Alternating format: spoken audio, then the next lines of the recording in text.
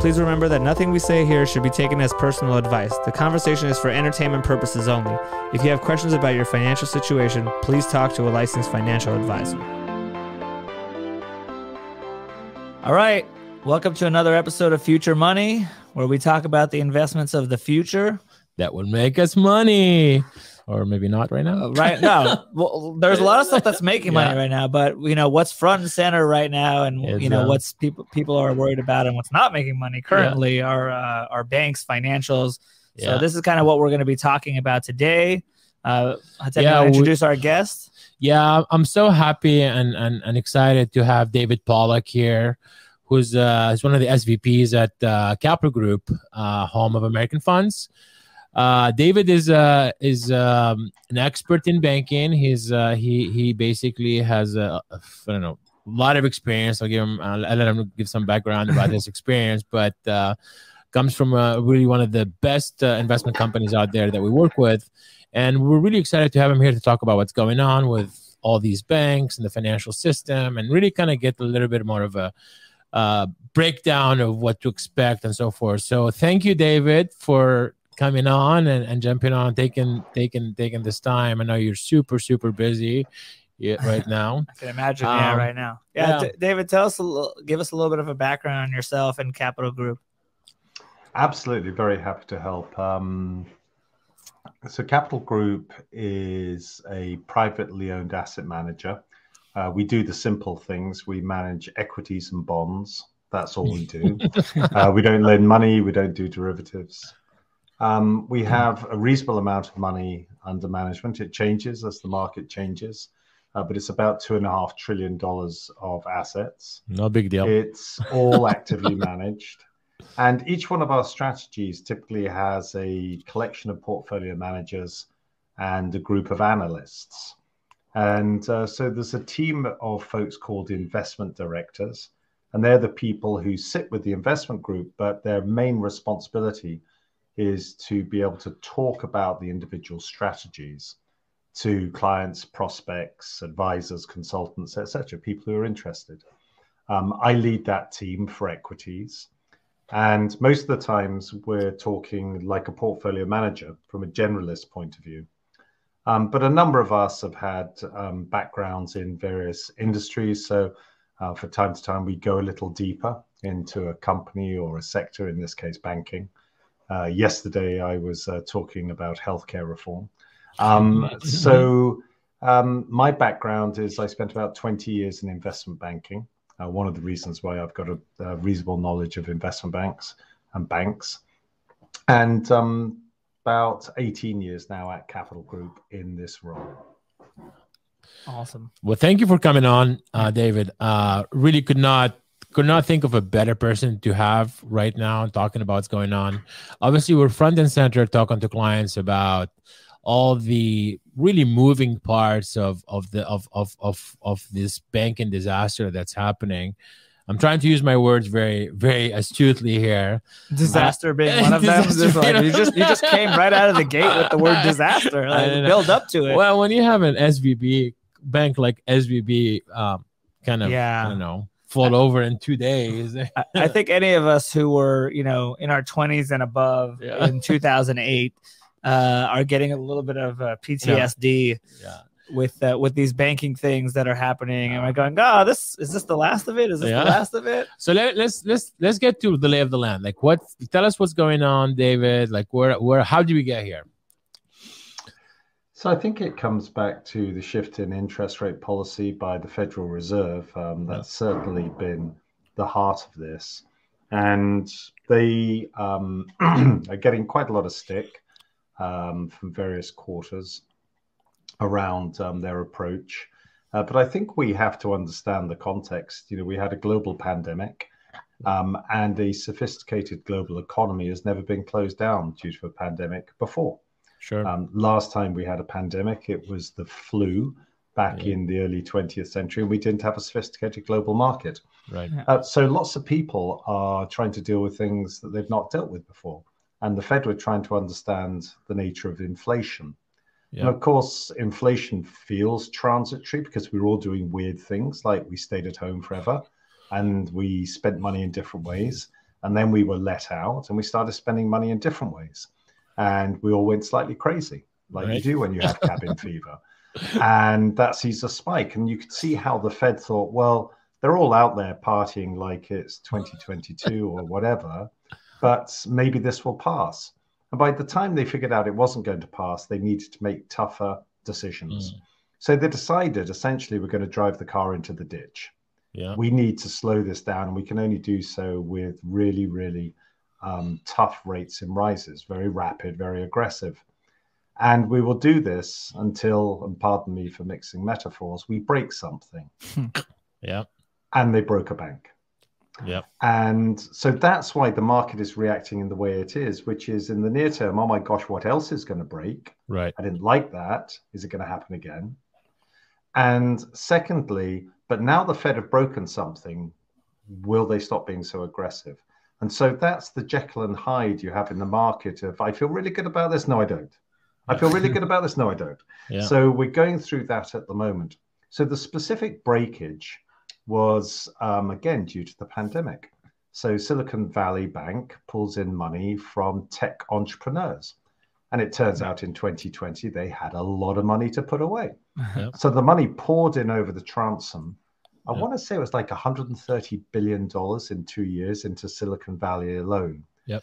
And if you're a decent bank, and it's questionable whether they were, if you're a decent bank, you're not going to lend all that money out without having a risk assessment. Um, so what are you going to do with that money when it comes in? Well, there's nothing safer than U.S. Treasury bonds, is there? Well, it turned out they weren't. and so the value of those bonds went down. And um, you and your listeners um, or viewers may um, recall that there is uh, two separations in accounting of, of bonds. Yep. They're held to um, or held to maturity, mm-hmm. and then there are the bonds that are available for sale. And if they're available for sale, they get marked down um, in the accounts as the price goes down. They get marked to market. Held to um, maturity, um, sorry, available for sale gets marked down. Held to maturity gets marked down at a later stage. And so they decided, on advice from an investment bank, that they needed to sell them in order to sort out their asset liability mismatch, because, of course, the value of that had gone down. In crystallizing it, they completely scared the market and so then there was a huge run of billions, tens of billions of dollars going out in a few days. And that's when the FDIC and the feds came in. 42 billion in a day. Uh, more than that, 52. 52. Yeah, yeah. 42. So, so you you've you've laid the blame there. Uh, and uh, by the way, the metaphors are amazing. Cabin fever, running into a ditch. Uh, yeah. It's absolutely what's happening. Um, with with uh, with the Fed raising rates so much, right? Aren't in my in my perspective, banks are business is really managing interest rate risk, right? You knew, we all knew rates have to go up, maybe not at the at the pace that the Fed that did last year. Shouldn't have SVB have much better risk controls or manage that risk a lot better than they have? Well, hindsight's a wonderful thing, and um, right. I I don't think we should be blaming anyone. Um, that's for politicians to do. We should be having a thoughtful assessment of what happened. Right. Um, it's notable that SVB um, lost their chief risk officer in 22 mm-hmm. Um, in what looks like they were unusual circumstances and didn't replace her. Um, yeah. So that's a questionable um, de- decision, yeah. questionable outcome. and you would have thought that with those bonds coming under pressure, um, that they might have approached the issue in a different way. Um, we're still trying to figure that one out. You know, did they really have to um, sell those bonds to raise equity in the way they did? Because that's what yeah. triggered it. Right. And there's going to be plenty of people looking at that uh, to ask that question. Um, I don't think, you know, when we get to the Fed, I think the Fed, you can understand the decisions they made. Right. Um, they did want to make sure that they didn't start raising rates aggressively if inflation was transitory, because, you know, it's easy now, again, in hindsight, to say right. when you look back in the fall of 21, Yeah. Um, it could easily have they could easily have raised rates and then inflation came off, and yeah. they could have crushed, you know, the yeah. economy. Right. Yeah, we were um, all excited when they didn't raise rates in, in the end of 2021. Remember, we're like, yeah. great, they're not raising rates. That's awesome. This, the market rally can continue. Yeah. the party can continue. the party can continue yeah. yeah. and then and then not so much thank you uh, for saying that you know we as advisors when we talk to clients you know people expect us to know why and when things are going to happen. Yeah. I, I, think you and I talked about this. You know, you know, uh, uh, you said it best. Hindsight is twenty twenty, but also really you can't know what's going to happen in the future. However, you know, I think right now, and and we're still this post mortem trying to figure out who's do- done what. I mean, I think the risk officer statement is is a very good one. Um, but you know, there is other banks that are struggling right now do we know when like if, if there is any contagion effect is there any any issues with other sectors? I know with credit suisse was hastily sold off to ubs and i'm really interested in your opinion because i know you you worked in investment banking before. Uh what what is is it are those things uh, jumbled together? Where, is that where are the, the the metaphor i like to use is what i've been using with my clients is do we have cracks in the drywall? Yeah. Or are there cracks leading to the foundation right now and we just can't see them yet? Right. Yeah, it's probably the drywall. Um, okay.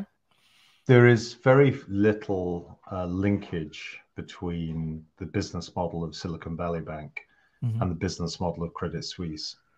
Um, the issue though, that does link them is confidence. And confidence is a fragile thing. And when the banking system comes under pressure, yeah. um, people um, who are not involved in the financial industry question where they have their deposits. Um, people who are involved in the financial industry go looking for opportunity as yeah. well as risk.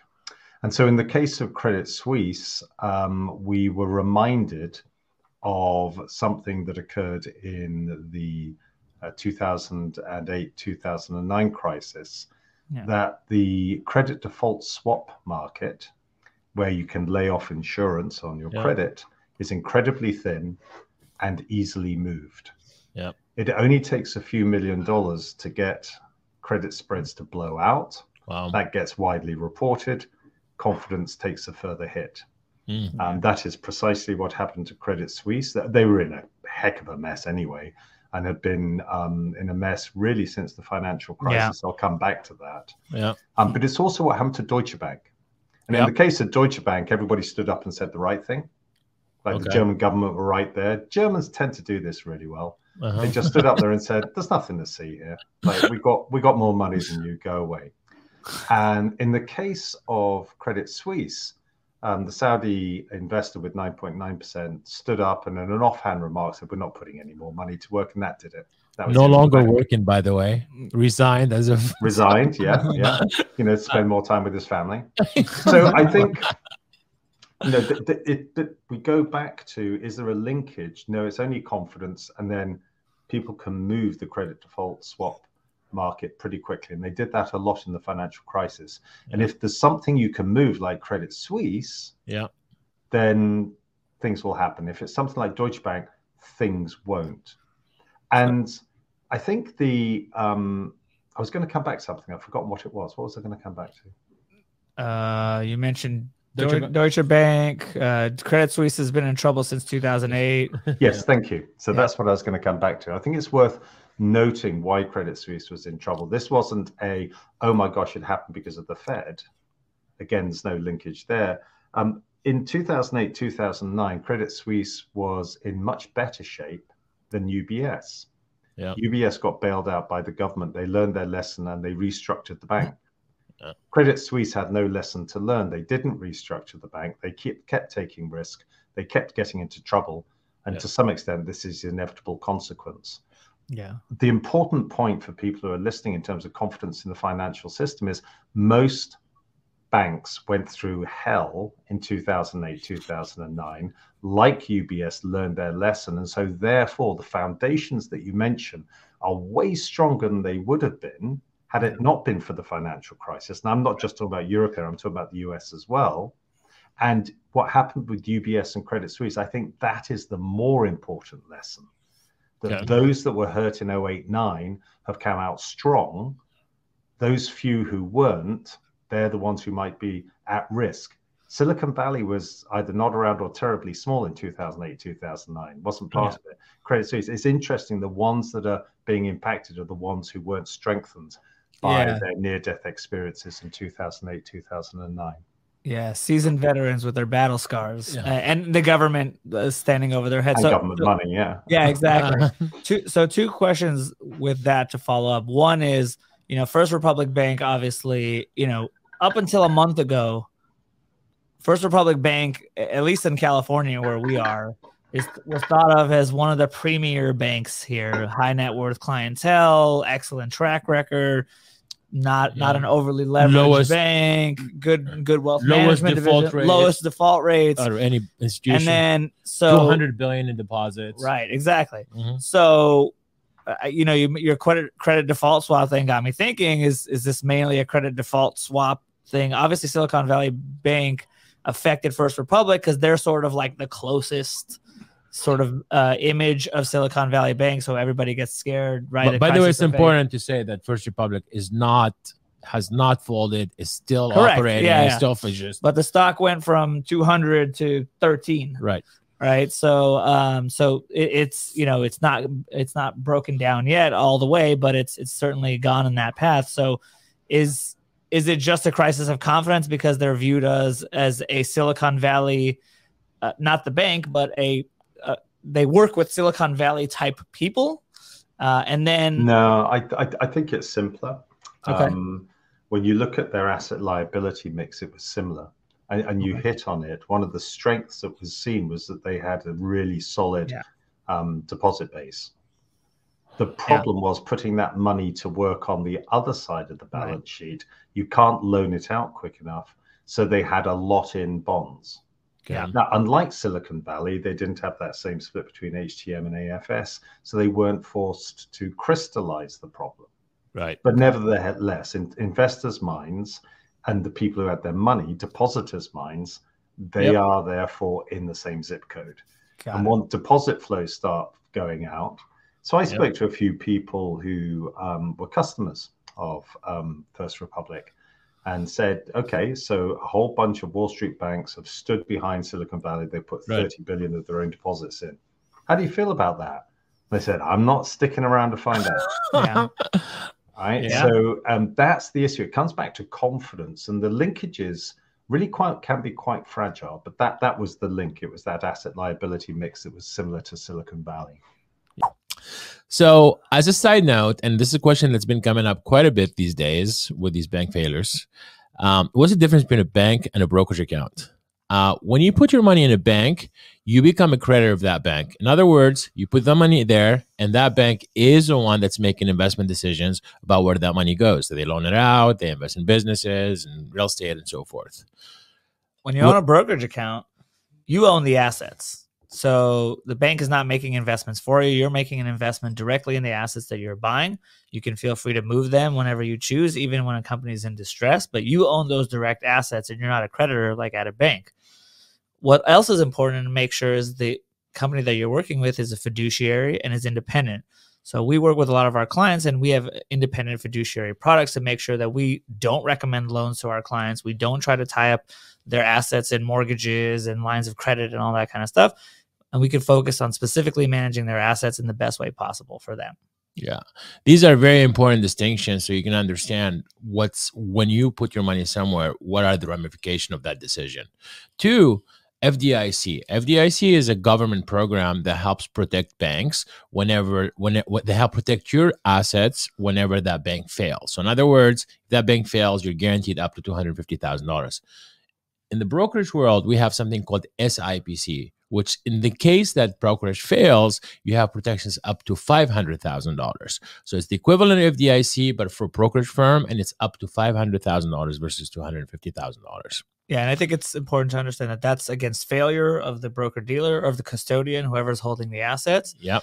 And in addition to that, we actually do have programs if if clients are interested in extra FDIC insurance, we have programs where they basically aggregate your money in cash, yep. up to two and a half million dollars for individuals and five million for couples. So there's there's a lot more out there than what the banking world leads us to believe. Yeah. Yeah. And this is really it's great that we can actually share this information because there is a lot of other options outside of the bank. And now let's go back to the podcast. Yeah. so the banking, I mean, the banking system is a confidence game, right? So and, sure. and, and like like you, I think we have a lot of clients who have bank accounts with First Republic, and last two weeks has been, you know, why would I keep my money even if they are around still? I have no reason to keep my money there yeah. because you know they have all these basically perceived issues. Yeah, right? and my question becomes is First Republic Bank has been known to give lines of credit at below market value to people, and they tie in people's accounts into uh-huh. this stuff. And, and how does that all work and unwind itself now? If Silicon, uh, sorry, if First Republic does go down and or there's a run on the remaining funds on, of the bank, like what happens to all these loans? Like you know, they, it's like, oh, you have to keep X amount of dollars in your account for this loan to get the preferred rate. Like it's just a big I think, I think, there. I think here the, the question here is FDIC, right? Like what can you tell talk a little bit, David, about how the FDIC will work in the situation and how they did it with Silicon Valley Bank? So the FDIC obviously can insure up to 250,000. Um, and there have been a number of comments that the market is still trying to digest around how far they will go. And you hear people passing the words of um, Secretary Yellen to try and get an understanding. Um, I think it's still being worked out. It's not clear. Yeah. Um, but what is clear is it's 250,000 today. Right. Um, and then everything else will be treated on a case by case basis. Um, now, what's the FDIC done about um, Silicon Valley? Well, you know, there has been this purchase of the assets. Yep. And um, FDIC with Silicon Valley and um, Signature Bank have probably uh, taken. You, you, it was a question you were asking. Probably taken about a 20 billion hit yep. to the insurance fund. That's due to marks on the loan book. Yep. Um, there's the possibility that because um, they haven't really started talking about the securities book, and so, if and when they do that, there might be an additional loss. So yeah. that's where the FDIC has really come in. And to be yeah. clear, right, the FDIC fund itself has what 110 billion or yeah. something. Yeah, it's, it's, it's, not it's not insignificant. Okay.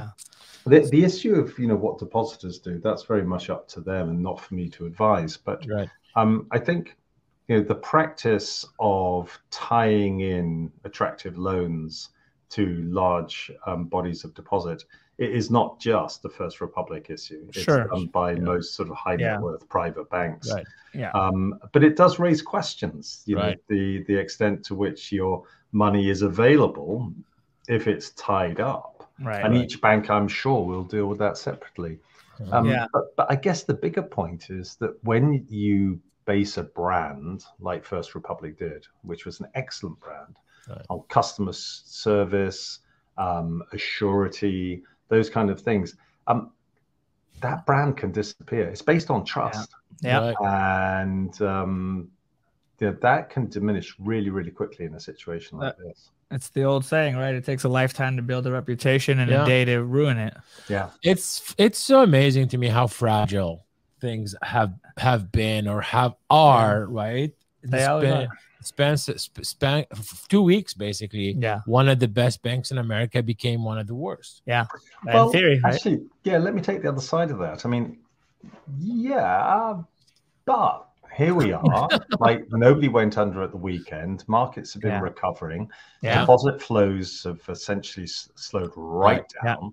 Yeah. Um, you know, I might take the other side and say it's amazing how robust the system was, how rapid the responses were, both by yeah. the Federal Reserve, the FDIC, um, the Swiss National Bank, sure. and how at the moment it appears we've nipped this one in the bud. Now, you know, you hear, you, you never hear a commentator say, I think everything's going to be fine. All fair. commentators have to yeah. say, yeah, you know, I think there's another shoe to drop, or we've got to be worried about the fragility yeah. of the system. That's fine. And maybe we do. And it's a hostage to fortune to say yeah. everything's going to be okay. But you know, I don't know if we can. Uh, yeah. And I was going to say about your word, the crisis. Like crisis, really? I was doing 2008, 2009. He said disaster. To be clear, he said disaster, which I, I don't okay, know if that's worse. So since you since you went there, okay. Wait, since wait hang on. Do, do we? I, I don't know if we count as commentators or not, but I'm gonna say. Ready?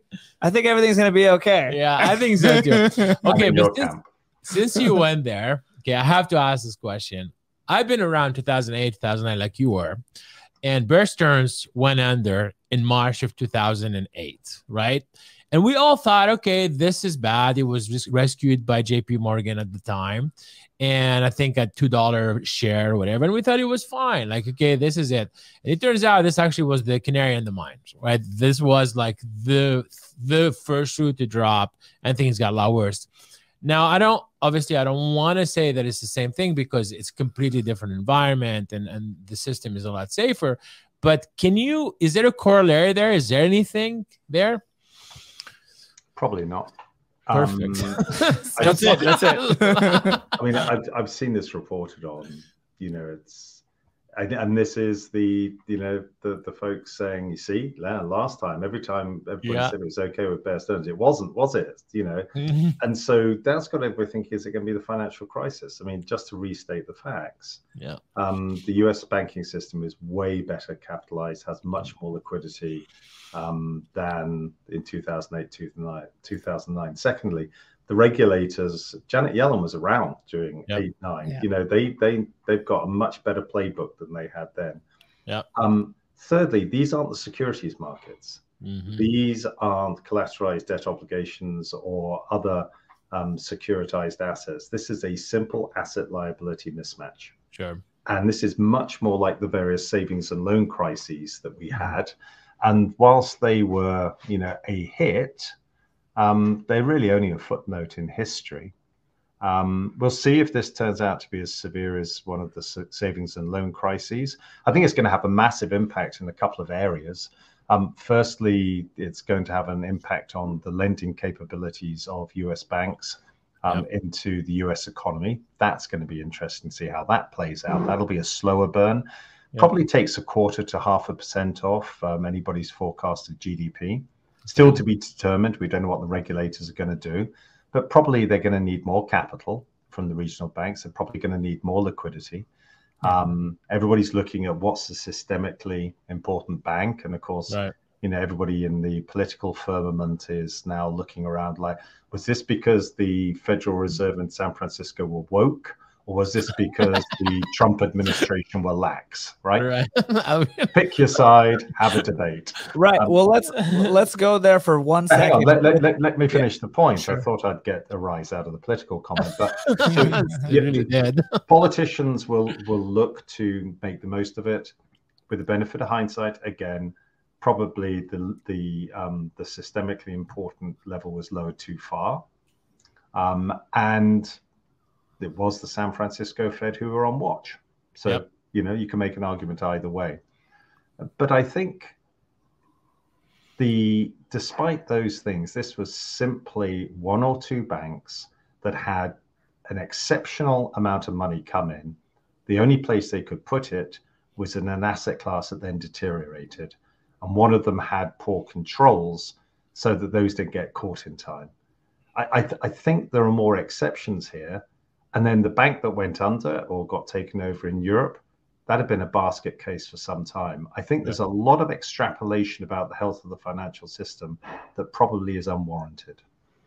Got it. So, so with the regulation, real quick, you know, to this is not going to be uh, was this a Republican or a Democratic thing, but did the regulation deregulation right because the democrats are you know wanting to point the finger at republicans republicans like you said are wanting to point it back but did the deregulation of the regional banks help lead to this? And and if that didn't happen, would we have obviously this is all speculation here. Yeah. Would we have avoided or at least mitigated this uh, thing that we've been gone through with Silicon Valley Bank and such? And you're talking 2018, 2019. Yeah, yeah, yeah the rollback yeah, of the regulations from the Trump administration, right. which at the time, by the way, for many people was hailed as a as a good move for the economy. Correct. Yeah, and I think again we need to look at the exception rather than yeah. the majority. So in most cases, reducing the regulatory burden on banks between 50 and 250 billion um, has paid off in a number of ways in terms of loan growth, the ability to offer folks the investment banking services they want. But one bank um, got it wrong. Yeah. They, and, and time will tell, you know, how culpable people were in them getting it wrong.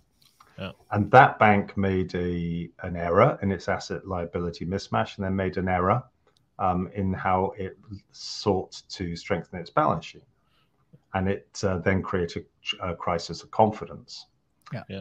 Um, I think it's too early to tell whether or not the regulations caused it, whether um, lax regulatory oversight caused it, uh, whether poor um, management caused it, or whether it was simply a case of they got their asset liability mismatch wrong, and these things happen.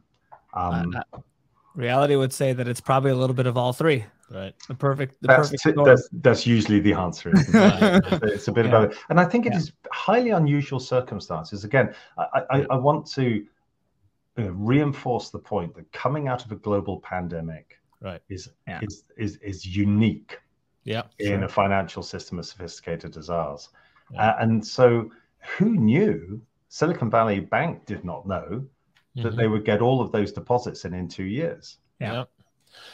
So, I, you know, I, I could not have said it best. Thank you for saying, you know, that we should not panic at this time, right? Panic is never a good strategy. You know, you have to look at things a lot more you know, in, in more detail and see that really the financial system is a lot safer. And that's kind of what we've been telling to our clients, right? You have to be, you know, you can't just look at the newscasters because you know they sell they're trying to sell papers and and you know selling the panic is really what works right? So it's really important to do that. So i'm so glad that you said it in the way that you did.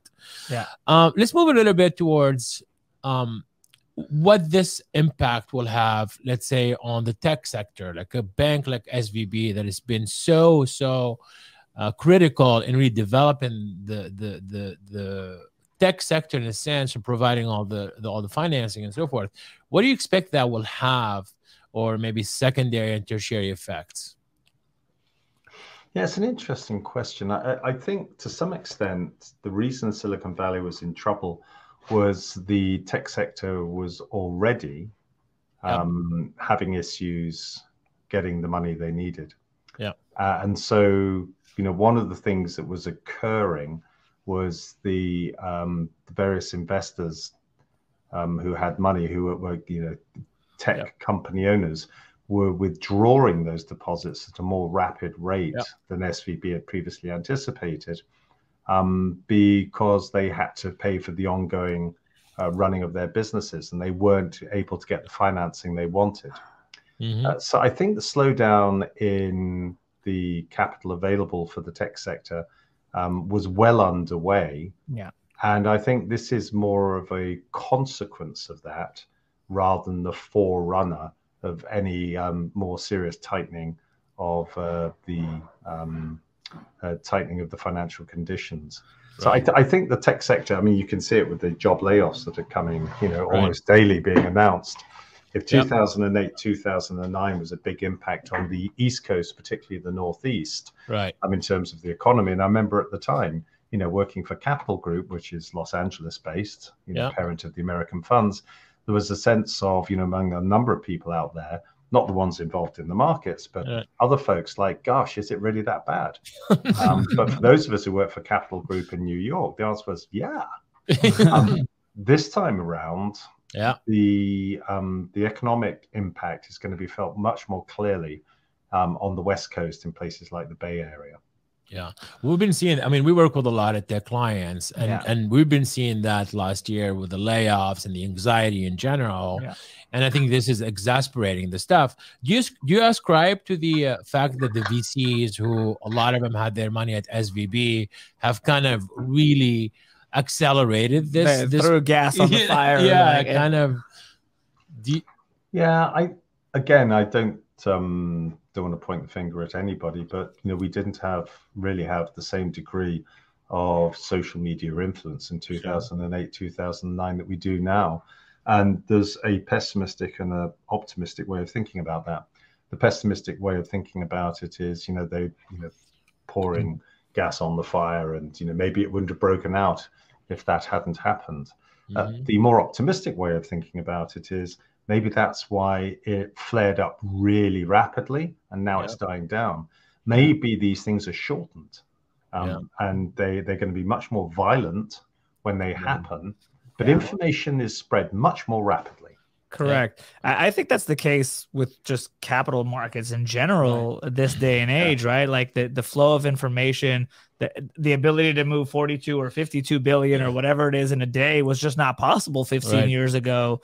Um, and, and, and now first and yeah, think later. Act first, think later, right? You got your money at Silicon Valley Bank, right. and you know, all of a sudden you hear Peter Thiel say something, and you're like, I'm out Im- immediately. And and the, and the transfer process is so seamless now. And you know, we haven't even gotten yet, but there's a crypt there's a there's a cryptocurrency question in here for you. So just for forewarning, uh, we'll get we'll but, get that's that. another not like that, but yeah. another way to to transact yeah. these kinds of things. Yeah. Uh, and I just think whether it's capital, whether it's the stock market or you know bank runs, like there, you know, there we we sort of not joke because that's the wrong word. We we sort of had this, you know, moment where we saw the people lining outside of Silicon, uh, uh sorry, out of First Republic Bank here in Brentwood in California, yeah. and we're like, why are people at the actual bank? Like you, you could just go online and you know, move, move your money. money immediately. Yeah.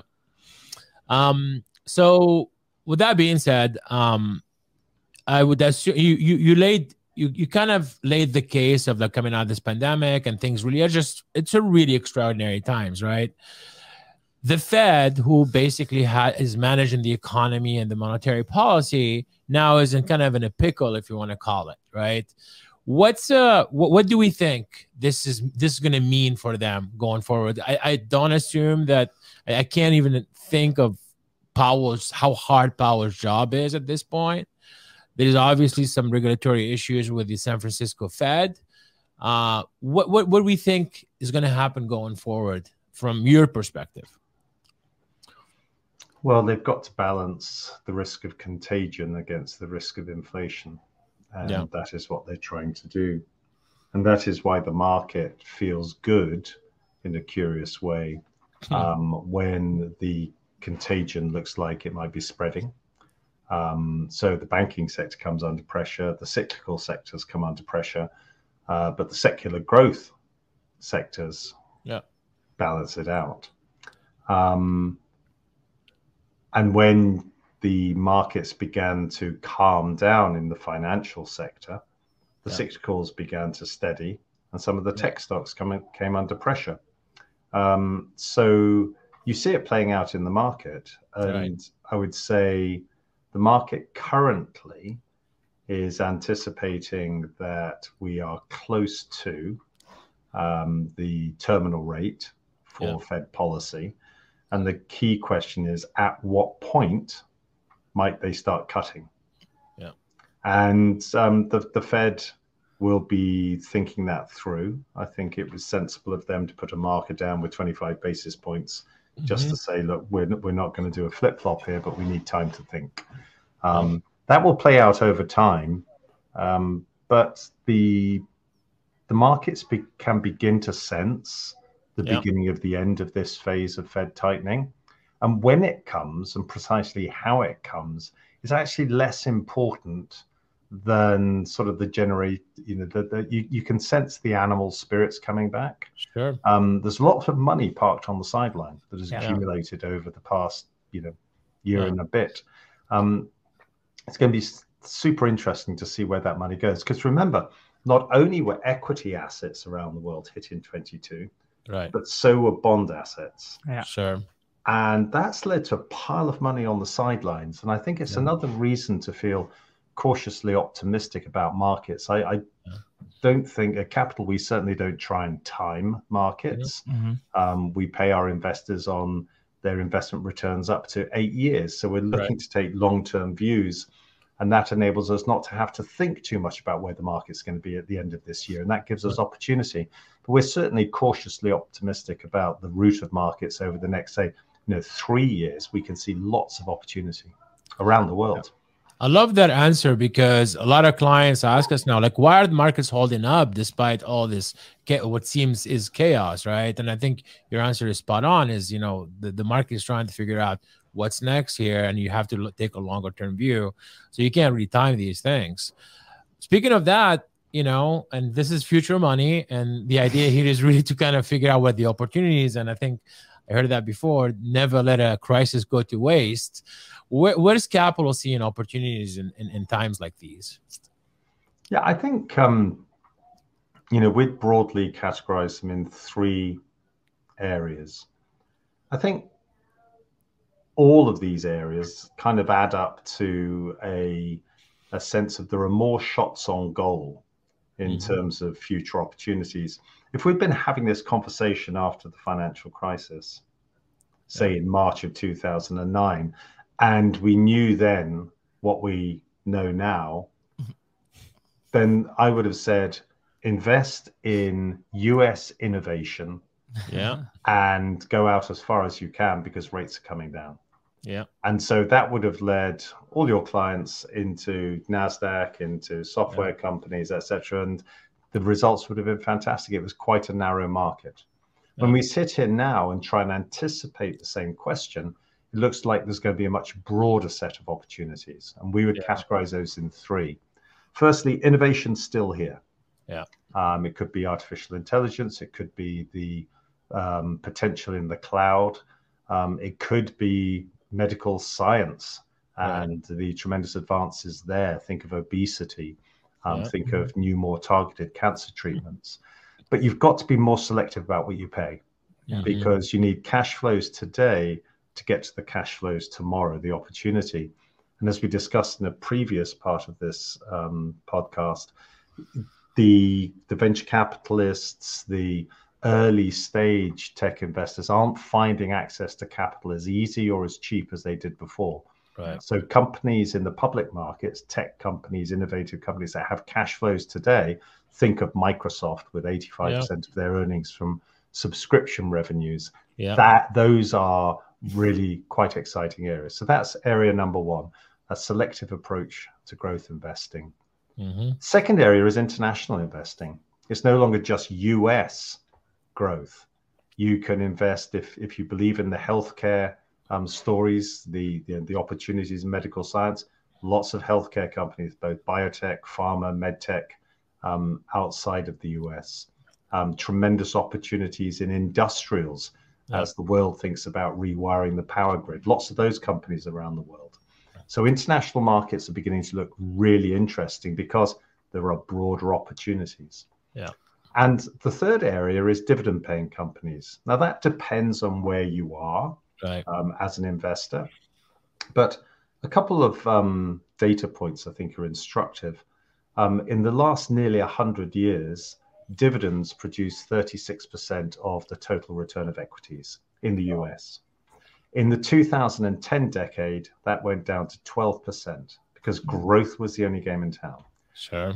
Now, I'm not saying we're like the 70s, but 1970s started with a narrow market, the Nifty 50, rolling yeah. over. Yeah. There was inflation beginning to build. There was geopolitical tension and real wars. Yeah. So there are some things that rhyme with where we are today.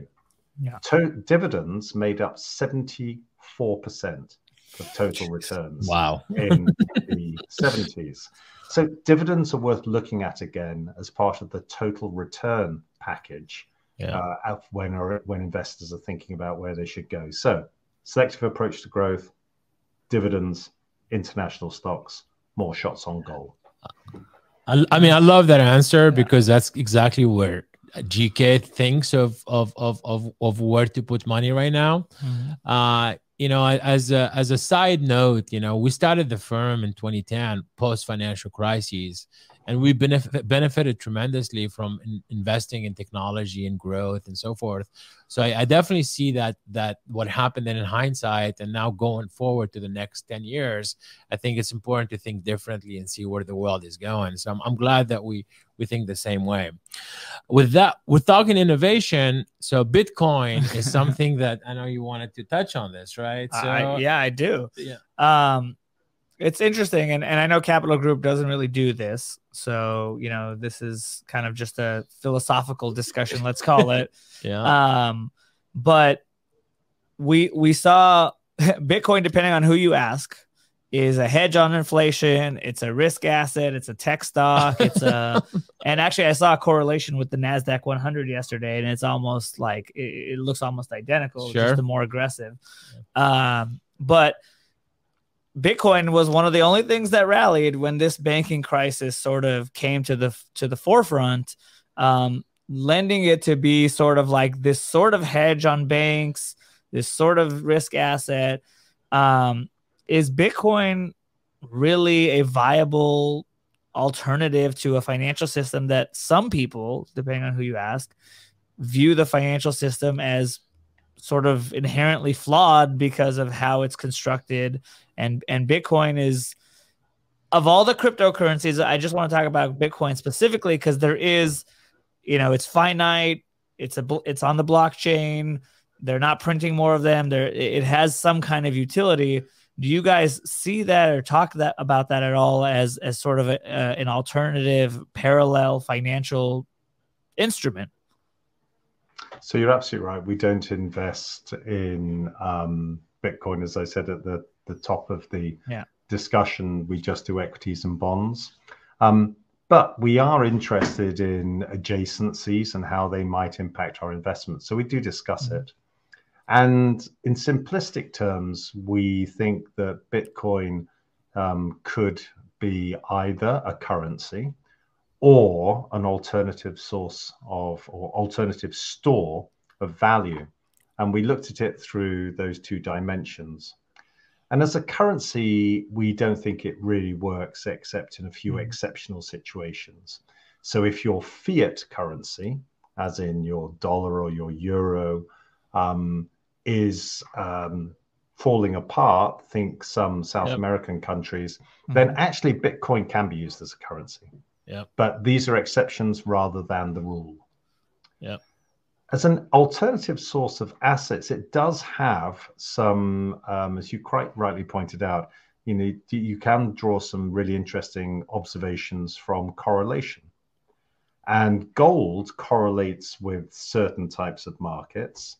Mm-hmm. And it would appear that Bitcoin correlates with other types of markets. Yeah. Now, there's a very healthy health warning here and that is that Bitcoin's really only been around whilst we've had this really strong growth market, right, then yeah. the end of the growth market, and then perhaps the um, inkling that the growth market might not be as dead as we thought it was because of the financial crisis.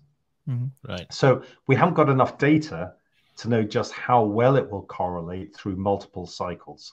Gold has thousands of years, it has millennia of sure. data um, whereas Bitcoin is relatively new. But from what we have, it does look like it's correlated with secular growth assets.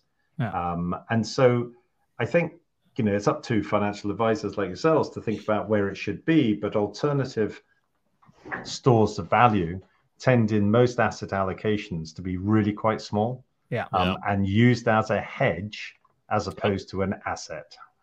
Yeah, that's exactly how we think of it too. Yeah. So that's awesome. Thank you so much, David. This is really, really awesome insight. I want to geek out for a minute, and and simply mm-hmm. because I know you're European, you worked for um, uh, UBS and and and and and um, and and European banks. There is this thing that happened when Credit Suisse got bought out, and I hope again, I hope it's not too technical, but some of the AT1s or some of the bonds from Credit Suisse went to zero while the equity did not go to zero. This mm. is in any finance textbook, right? You look at your cap structure, bonds never go to zero before equities. So this is really something new. Everyone is talking about. It. I'm sure there's going to be lawsuits, a lot of lawsuits What happened there? What do you think? So AT1s are contingent capital instruments, which is kind of a perpetual capital yep. um, layer um, that sits somewhere between bonds and equities, but it is determined by the legal specifics in the um, documentation. Um, the Swiss National Bank are pretty clear that the legal documentation holds up. So there is a question of how many people actually read all that legal documentation.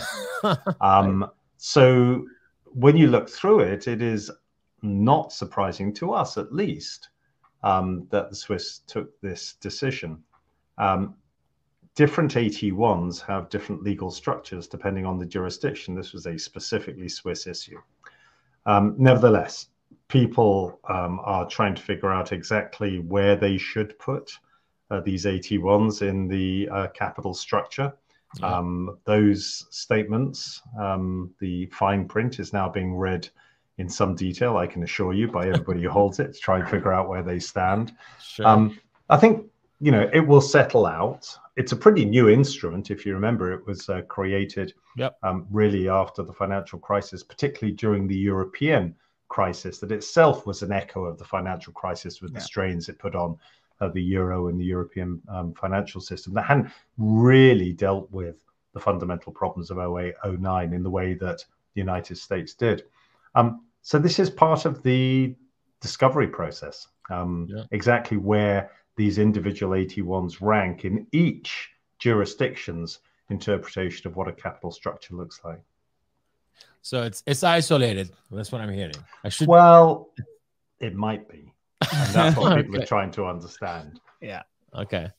Great. Um you know thank you for bringing all these insights. Um let's not talk about banks now. Let's talk i know you're an esg expert. Gerber kawasaki has been also a leader in impact investing esg from our beginning. And there's been a lot of dark clouds around the the term esg these days. I know capital group has been doing ESG and impact investing for many many years before before it was trendy. Can you talk to us a little bit about like the state of of, of affairs here and, and and maybe kind of clear up some of the terminology for us?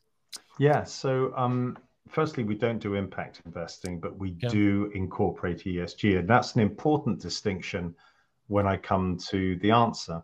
Yeah. Um, where I think there is a difference between what is happening in, say, Europe and the United States around ESG is in Europe, there are a set of regulations that are looking to direct capital uh, or investments towards or away from industries and companies, depending on where they are in the ESG taxonomy.